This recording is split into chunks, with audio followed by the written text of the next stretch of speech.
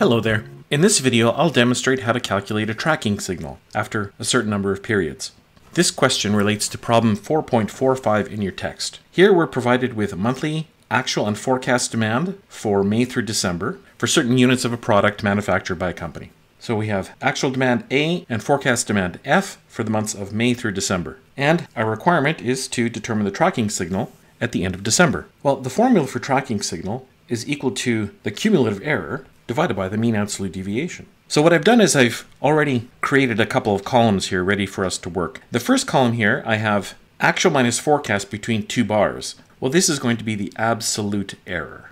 And then in my last column, I have A minus F in parentheses. This is just the error.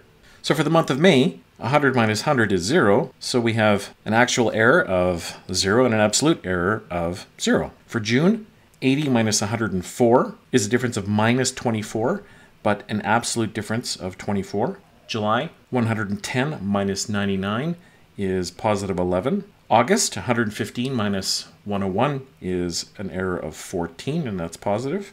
September 105 minus 104 is an error of positive 1. October, we have a difference of 6. November, a difference of 20 when we take 125 minus 105. And for December, a difference of 11.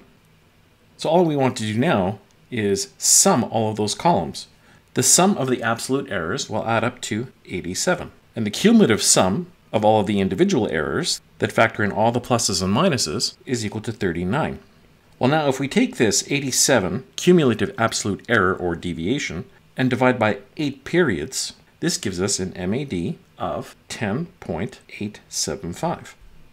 So when it comes to calculating our tracking signal, we have a cumulative error of 39 divided by a mean absolute deviation of 10.875, and that will be a tracking signal of 3.586. And that's how you calculate the tracking signal.